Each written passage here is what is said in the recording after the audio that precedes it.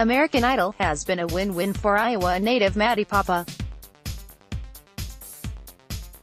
The singer not only topped Caleb Lee Hutchinson and Gabby Barrett during the singing competition's two-hour finale on Monday night, but she also found love on the show. With Hutchinson, Poppe and Hutchinson had a very special on-stage moment when they announced they had been secretly dating during the season, shocking fans and judges Katy Perry, Luke Bryan and Lionel Richie.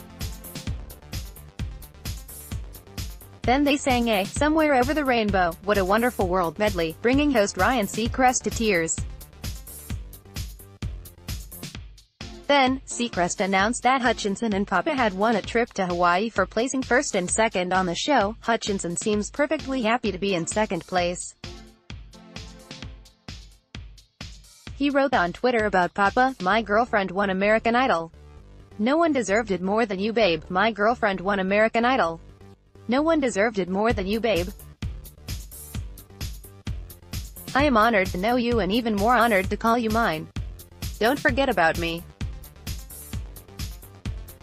I love you heartpick.twitter.com slash SOG73Zeep, Caleb Lee Hutchinson, at Caleb Lee Music, May 22, 2018 Later, Poppe told ET that she had hoped she and Hutchinson would land in the final two, saying, I guess we were just kind of playing it by ear, but we really wish that this could happen.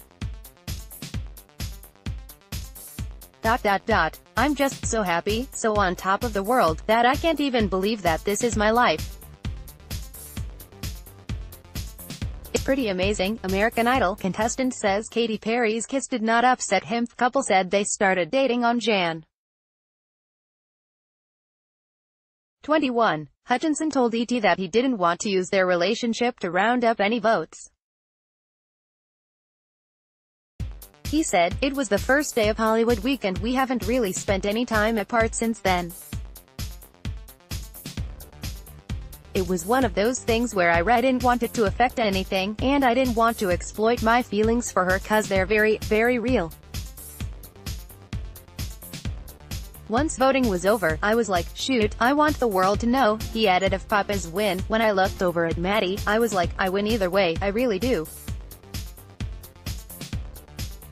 I don't feel any type of bitter loss at all. I'm just so happy for her.